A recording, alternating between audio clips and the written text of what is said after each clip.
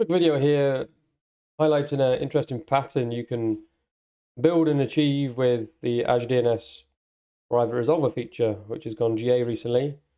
I'm going to take this opportunity to highlight that it works also with not just VMs, etc., but in this case, we've VNet injected a web app running on app service. So my web app here has got VNet integration turned on, and it's been injected into this subnet here. Imagine this is some sort of disconnected spoke which I've given access to my application team, but it doesn't have connectivity back to my landing zone. But maybe there's some reason why I still want to provide them with centralized DNS resolution for some domain names. You know, maybe they've got a backdoor to on-prem, like a app service hybrid connection, and they don't want to manage their own DNS. No VNet peering between the blue box and the purple box. On my Azure DNS private resolver, I've got an inbound endpoint and an outbound endpoint. Now, the inbound endpoint's got the IP address here 10.10.21.4, and my outbound endpoint's got the subnet 10.10.22.0. In my rule set, I've got a VNet link configured only to this VNet over here. So that's the the VNet, what we call it, DNS forwarding VNet rule set link. It's not linked to my hub, which means that whatever forwarding logic is defined inside of that rule set can be leveraged by VNets that are linked to it that are specified to use Azure DNS. This spoke VNet here isn't specified to use custom DNS, it's just set up to use regular DNS, which we can see here, Azure provided DNS. Inside of the rule base on here, this is where we do something interesting. I've got a single rule in that rule set. Remember that rule set's bound to my outbound endpoint, which says for anything going to QWERTY.com, forward to the IP address 10.10.21.4. Okay, so my web app makes a call to QWERTY.com. It goes to Azure DNS. Azure DNS knows it's a linked rule set, so we'll apply the configuration inside of these rules. Now it knows I need to forward this request to 10.10.21.4. Okay, so 10.10.21.4 is an IP address that lives inside of the customer's VNet. Therefore, I will look at my attached outbound endpoints and send it out of one of those because there's no point Azure DNS trying to resolve that within its public records because ultimately this is a customer request, not a public request.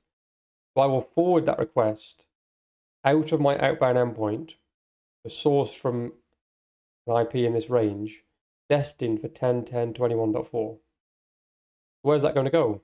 Well, in this case, it's going to my inbound endpoint of my private resolver. My private resolver will get that traffic and then forward it to Azure DNS for resolution. And what we'll see is inside of my Azure DNS private zone, which I've got configured for QWERTY.com, I've got a test A record for 123.4. And this Azure DNS private zone is linked, do this in a different color, in green, is linked to this VNet here. Okay, so if my inbound endpoint forwards to Azure DNS, because it's in this VNet, this Azure DNS private zone will kick in. The end result here should be that I can resolve domain names within the subdomain QWERTY.com from my app service, despite it being completely detached from a layer 3 network IP connectivity point of view from my internal resolution centrally managed infrastructure. Here I've gone into my web app. I've opened up the Kudu console and gone to the debug console. From here, you can you're logged into your backend of your app, and you can run commands. So I'm effectively on my app here. If I try and run commands against Azure DNS, it'll come into the VNet and then go to Azure DNS, and the entire chain we talked about before will unravel. And let's look up against Azure DNS, a special 168 address. And we're going to go for test.qwerty.com. You see here we get back the IP address 1.2.3.4. And that's without this VNet being connected to my hub via VNet peering. So let's just play that back one more time. It can make your head turn around back to front when trying to wrap our hands around this for the first time. The first thing we showed that was that with a web app that's VNet integrated into this subnet, I can use my Azure DNS resolver service. But I can do it in this interesting way, which is I come into this spoke VNet, and the spoke VNet will forward to Azure DNS. Azure DNS gets a hold of the request, and because there's a rule set over here, which is linked to this VNet, Azure DNS will try and leverage the logic in this rule set. And it's matching my resolution request for QWERTY.com. And the rule set says forward to 10.10.21.4. Okay, at that point, the DNS request is forwarded sourced from the outbound endpoint to whichever IP address this is. This IP address could go uh, to a DNS server on prem or a DNS server wherever on the internet or elsewhere in your VNet. In our case, we're using a quirk here, which is destination can also be the inbound endpoint of the same resolver. So we're forwarding out of the outbound endpoint back into the inbound endpoint.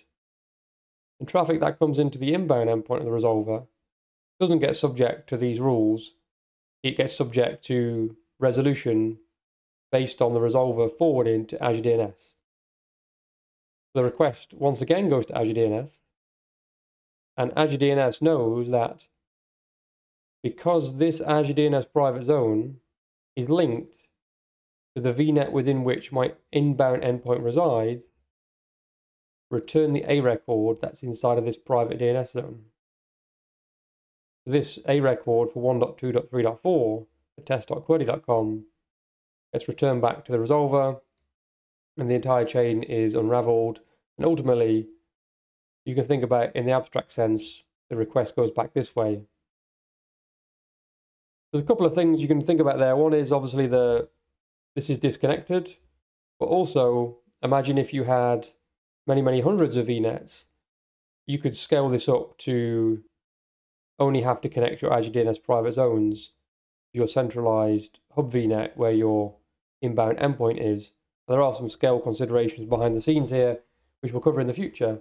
I just thought I'd highlight those two things in this video around app service integration and the disconnected forwarding using the looping between the outbound and the inbound endpoint and you can also do things um, such as forwarding to on-prem with this method as well. Anyway, maybe take the time to sort of replay this in your head. Even better, go ahead and set up a lab yourself and then it will really sink in. Thanks for listening. I will catch you in the next video.